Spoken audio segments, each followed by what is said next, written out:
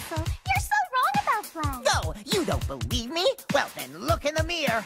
No reflection. No kidding. What mirror can contain that much, handsome?